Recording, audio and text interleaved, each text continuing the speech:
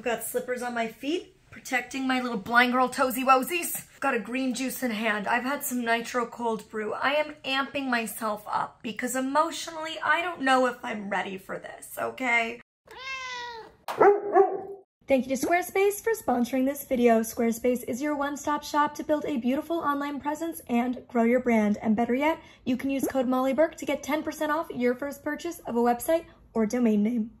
This is gonna be the closet organization declutter to end all closet organization declutters. I have not seen my clothes in a year. This time a year ago, I was packing all my clothes up and we were getting ready to put them in storage in the new year. Then when we got back from Palm Springs, mid-January, we just finished it all up and put it into storage. So I have not worn these clothes since November, early December of last year. We just finally got them out of storage. I was expecting to be without my clothes for six weeks, so I had hardly any clothes. The clothes I did have was mostly Palm Springs stuff, which was not good for winter. Mostly like sweatpants and hoodies. So throughout this past year, I've ended up having to, unfortunately, buy a lot of new stuff. But what I, wow.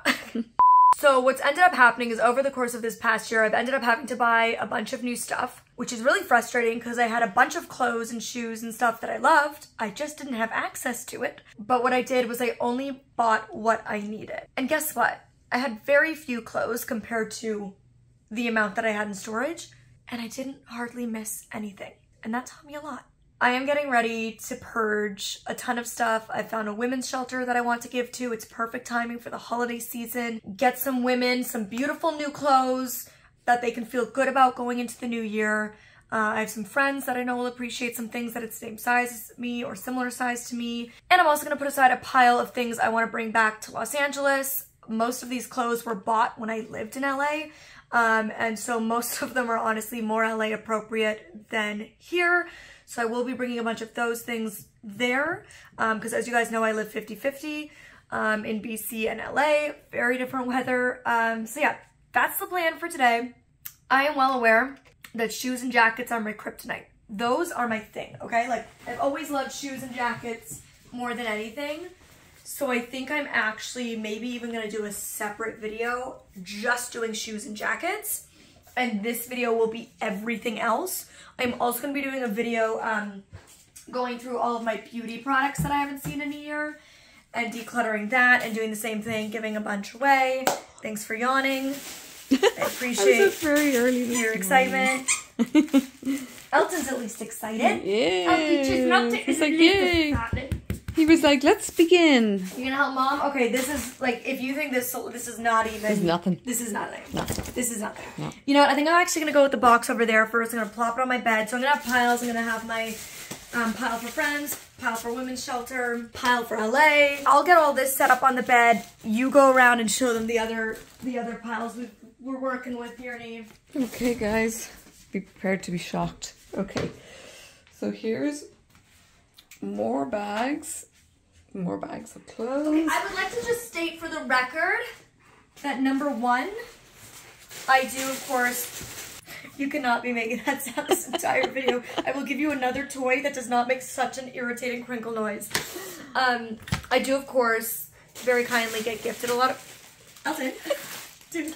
Um, I do, of course, get gifted a lot of clothes, which I'm very grateful for, but it means I do have to move in and out things more frequently. Um, and also, things look bigger when they're not folded. Okay, all these things have just been crammed into bags. God, this stuff's gonna be so wrinkled. We're gonna have to, be, to do a lot of washes after stuff's been laying in storage in bags for a year. But it all looks bigger when it's not folded. That said, I do have a ridiculous amount of clothes, which is why we're doing this, and I hope to never have this many clothes and have to do this again in my life. I have learned a lot. I have changed a lot in this past year. And this is this the angle test. Is horrible. It's great. Why? I'm able to lie down. This is gonna be a long day, Neve. I pepped myself up for this, and now you're sleepy. Come on. It's okay, I'm, I'm waking up. Take a few sips of my Irish cream cold brew. My consumption over this past year has changed so much. I'm so proud of myself. Like the way I consume, why I consume uh, has changed a lot. My personal style has changed a lot. So I think a lot of this isn't even gonna suit my personal style anymore. Um, though this Molly Burke merch always will. Check it out. last minute Christmas gift idea, anyone? Look at how cute this color is. I think this is my favorite color I've ever done. Yeah. And look, there's the doll cat logo on the back. Lovely. Okay, I'm done. My personal style has changed a lot, but also the industry has. I think the banishing of the Instagram photo has been so relieving. Yes. Because I'll admit that like a lot of us consumed outfits to wear for Instagram. I admit it. I did that because absolutely, and this speaks to like an, a greater issue of society period, like if you posted photos in the outfits that you wore frequently, people wouldn't engage with it. People would only engage with your photo if you were always wearing new things. And I'm not just saying that, like literally I have the proof. The the the statistics prove that to be true. Like when I look at my analytics, that was the case. People only engaged when you were constantly wearing new outfits. And I think it caused a lot of us content creators who were posting Instagram photos to constantly feel the need to consume in order to get engagement, which is how like our job is measured. Our job is measured by our engagement, and that's just the reality.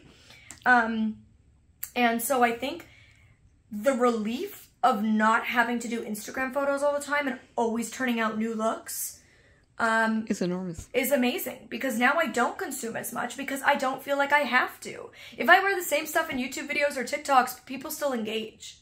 But if I wore the same things in photos, nobody cared because they'd seen it. It was boring.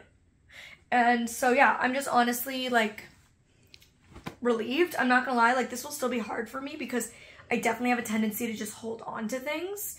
And I'm sure there is some deep rooted reason for that. Hoarding. I, I hoard clothes. Clothes specifically, I hoard.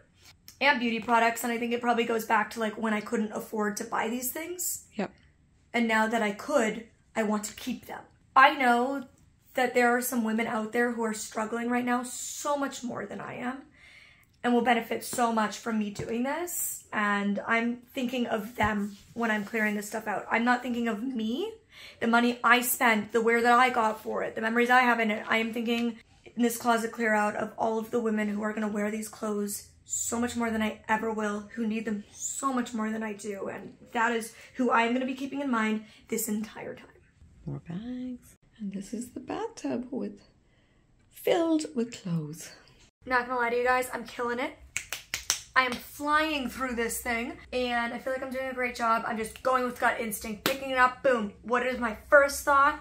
I do have like one maybe pile where I just have no first thoughts and I'm like, okay, I'll deal with that later. But I'm doing like the initial run through where it's just like, what are my thoughts? LA, donate, here, and then if I don't know, maybe. So I'm feeling really good about it. I've also learned something about myself over this last year. I've been reflecting. I think like most people, these past three years have been pretty rough. In particular, honestly, this year, like it's like the year of rebuilding and it's been very hard for my family and I. I'm gonna talk about it soon. Um, I feel like we're turning it around. We're getting to the to the to the end of the misery, hopefully. But I have a tendency to hold on to items or want to hold on to items that I purchased in the window of 23 to 25. And that's because to date, those were the best years of my life. 23 to 25, it's an, it wasn't an easy time, but it was a magical time. It was it's my favorite time of my life. I moved to LA, my career took off, I was doing what I loved, I was meeting all these people that I looked up to for years, I was getting all these amazing opportunities. Like my dreams were coming true. And there's nothing like the first time in your life when your dreams start to come true. Things that you worked towards your whole life, that you dreamed of your whole life, and all of a sudden the reality, they're actually happening and it's magical. And I was able to fully, finally feel like I was able to start fresh in LA, be myself, leave my story behind, leave my trauma behind, and just like become me, become an adult. And it was just the best period of my life. And I know it's not going to be the best period of my life forever, but to date, it's the best period of my life. Because right after I turned 26, lockdown happened, and up till now, it's been a mess.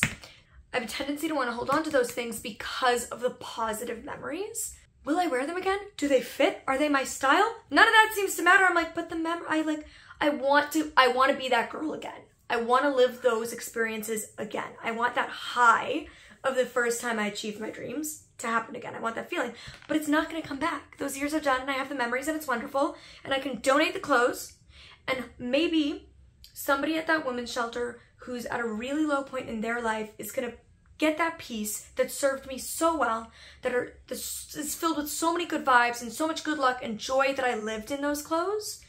And it's going to help them get to the next level in their life and break through to the next positive turning point in their life. And that's what I'm thinking about right now. And of course, if I have any negative memories of it, like the item I was wearing when my ex-boyfriend told me he loved me for the first time. I'm getting rid of it because guess what? Every time I wear it, I'm gonna think about that negative thing and I don't want that. So those are some of my tips for you. I think the reality is for the past few years, I've been struggling a lot with my mental health and I know a lot of you have as well. And I think that I've thought that if I wear the clothes that I wore when I was my happiest self, I would be that girl still. I would get to be that girl again. And the reality is I was happy wearing those clothes because I was being myself. And I've been struggling to figure out in this chaos of these last few years where everybody's lives have been flipped upside down, who am I now? And this last year where I had none of these things, I had no physical belongings, or very few. I was super displaced. I didn't really have a home for a lot of this year. I was in transition. I couldn't use my old happy self as a crutch and those physical things.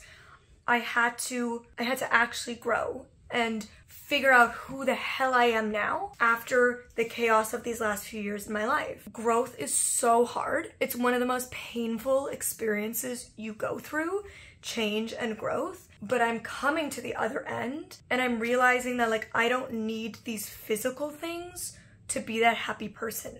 I just need to be myself and I need to lean into the pain of growth and get to the other side and I'm going to be such a better person for it and I'm already seeing better habits form from that growth. I hope in any way that concept maybe helps you and going into the new year I think is such a great time to clean out whether it's physical things in your life like your closet or your skincare or your kitchen or just clear out the dust bunnies internally um, setting new goals for the new year having a fresh start and I am so excited to go into this new year with a fresh start.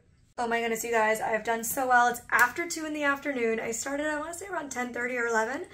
We took a little brief doggy walk with Elton, but I have been doing so well. One note to make is that half of the bags in the bathroom were actually my mom's clothes. so But I thought, oh, I don't have all these crazy amount of clothes, which I really don't, but then yeah, I'm yeah, like, yeah. oh, I've got to sort them out. Um, and I was like, oh, you got beautiful clothes. This is going to be hard for you. Also, something I wanted to mention is if you are donating specifically to a shelter as opposed to somewhere like just a generic thrift store, make sure you know what they need. They always have lists of things that they need and things that they will not take. So please make sure you're bringing things that they need and can use because if you're donating things that they can't use, it's just a waste of their time because now they have to sort through the staff at the shelter have to sort through all of that. So i'm separating my things. This is a box of all items that are new with tags a lot of which happen to be on their list. Also reading their list has helped me be more ruthless. There are things that i feel like i maybe would have kept but i'm like no they said they urgently need pants. I'm giving them these pants. So i feel like it's given me an even better focus knowing what they need. Um, so this is all new with tags which can be great for Christmas gifts because they're looking for Christmas gifts, new with tags items. And there's tons of things in here that they need, like socks, gloves, hats, underwear, bras, a bunch of stuff new with tags, uh, toothpaste, deodorant, toothbrushes. And in my next video I'm going to be going through um, my beauty products. So then I'm going to have even more hair care products skincare products makeup uh, of course all unused sealed and not expired um, for obvious reasons also, something I love that they wrote on their website, all of this is donation, by the way. I'm gonna go through and fo like fold it all nicely and not just shove it in a bag like it's been sitting for a year. Uh, and also make sure that it all smells fresh and clean and whatnot. But something that I love that they said on their website is make sure the items you're donating are something that you would like to receive. And I think that it's really easy to be like, well, beggars can't be choosers. And we see it a lot with disabled people, right? Um, we see people trying to discount us, not pay us our worth, not give us opportunities or act like we're simply lucky to get the opportunity and to demand anything further um, is egregious because we're lucky to have that opportunity as disabled people. And I think it's oftentimes the same for women or just people in need in general. Um, we think, oh, well, they're just lucky to be getting my donations, period. But the reality is just because somebody is in need doesn't mean they don't deserve to have dignity. And just because somebody is in need doesn't mean they don't deserve the opportunity to dress well. Because dressing well like makes you feel good. Dressing well allows you to get more opportunities. Being able to walk into a job interview dressed well, clean, with makeup on or presentable however you feel comfortable um, is what's going to allow people to get out of these situations. So I just wanted to share that in the hopes that maybe it will inspire some of you because I feel like oftentimes I just donate to local thrift shops, but actually having a specific place that I know I'm donating to and knowing what they need has been super inspiring for me today. How you doing there? I need the second suitcase. That one's full. I filled an entire suitcase with donations for the women's shelter, and I mean filled. And I folded all of it nicely and I categorized it. So like the stack of denim, the stack of knits, the stack of hoodies, the stack of pants. So I have, I have to fill another suitcase. They don't take suitcase donations, like donations of suitcases, but I'm hoping they'll take it because it's a suitcase filled with donations. Like I, it's the only way I can transfer it. You know what I'm saying? Whilst cleaning out, I just found these hoodies from Jacqueline City Apparel, which is a small disabled owned clothing line that I thought some of you guys would like. So this one says fight for inclusion and this one says disability is not a dirty word. So, okay, it's been about a week and I want to show you what I've done. Much to my parents' chagrin, I have plenty of extra space for more shopping adventures in the future. That's how much I got rid of. Okay. I thought you were really trying to cut back. Okay, so there's plenty of space for more shoes and handbags in here. Like, I can definitely cram way more in. Mm. I have two entire empty drawers. Two entire empty drawers. And the ones that are full, like, still have space. Except this one. This one is pretty, she's snug. Oh, she's snug. All my sweaters, but they fit so perfectly. And that's all of my knit sweaters. And then I have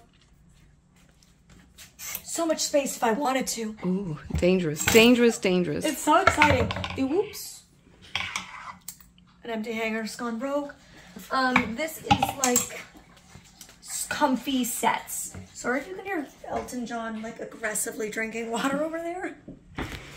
And then in here, the section's pretty, pretty full.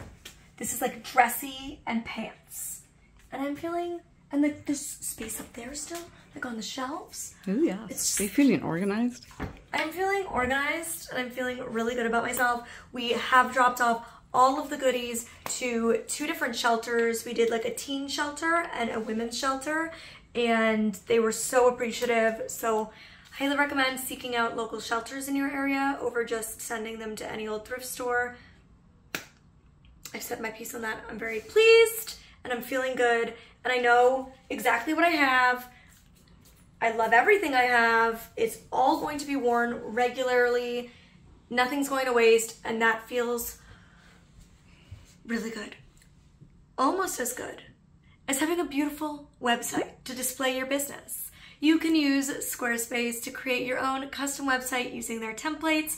You guys already know my website, mollyburkeofficial.com, is a Squarespace website and has been for a very long time now. I've gone through a number of iterations of my design, but it has always been a beautiful Squarespace website based off of one of their templates that I then customize to my pleasure. Squarespace has tons of tools available to make your website both accessible and to build and grow your business. You can sell physical products or virtual products. You can have a blog with commenting features. You have access to marketing tools and analytics and so much more. So you can go to squarespace.com for a free trial. And when you're ready, you can use code MollyBurke to get 10% off your purchase of a website or domain name.